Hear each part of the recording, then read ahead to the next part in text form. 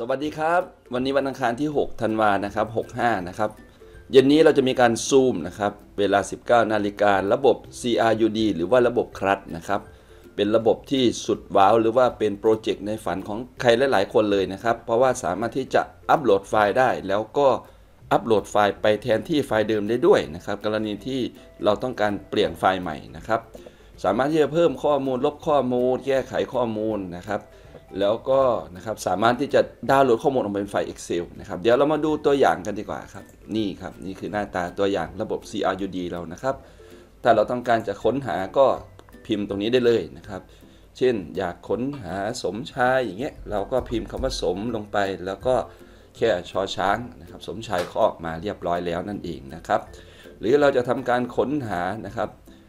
จากระดับ หรือว่าจากกลุ่มนะครับที่เราต้องการได้นะครับเนี่ยเราต้องการหากลุ่ม แล้วแต่ว่าเราจะไปจัดกลุ่มประเภทไหนนะครับมหนึ่งมสองมสามถ้าเป็นนักเรียนเนาะนะครับหรือทั้งหมดก็จะโชว์ทั้งหมดเลยดาวน์โหลดเป็นไฟล์ Excel นะครับข้อมูลที่มีอยู่ในชีตเราก็โหลดมาเป็นไฟล์ Excel ไปใช้งานต่อได้นะครับทีนี้ถ้าเราต้องการอยากจะเปลี่ยนแปลงแก้ไขอะไรก็ตามนะครับ เราก็คลิกตรงนี้ได้เลยนะครับ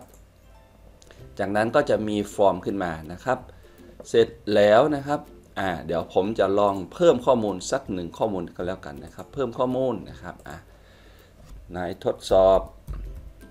นะครับนามสกุลนะครับ ทดสอบดูนะครับ เลือกระดับชั้นนะครับใส่เลขที่อันนี้แล้วแต่เราจะดีไซน์ฟอร์มนะครับ ว่าจะเป็นฟอร์มเกี่ยวกับอะไรนะครับอะเชื่อว่าเป็นวันนี้นะครับเลือกกลุ่ม D นะครับ จากนั้น สามารถที่จะอัปโหลดไฟล์นะครับ เดี๋ยวผมจะลองอัปโหลดไฟล์สักไฟล์ก็แล้วกันนะครับ นี่นะครับอัปโหลดเข้าไปนะครับ ก็จะมีภาพพรีวิวตัวอย่างก่อนที่จะอัปโหลดด้วยนะครับ จากนั้นกดปุ่มบันทึกครับ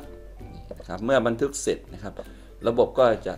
ทำการบันทึกข้อมูลนะครับ ลงไปที่ชีตนะครับ เนี่ยเพิ่มข้อมูลมาเรียบร้อยนะครับ กดโอเคนะครับ เนี่ยทดสอบทดสอบดูก็จะถูกบันทึกลงไปนะครับ จากนั้นถ้าเราต้องการจะเปลี่ยนแปลงแก้ไขก็คลิกนะครับเนี่ยมันจะดึงข้อมูลขึ้นมาให้เราเลยนะครับ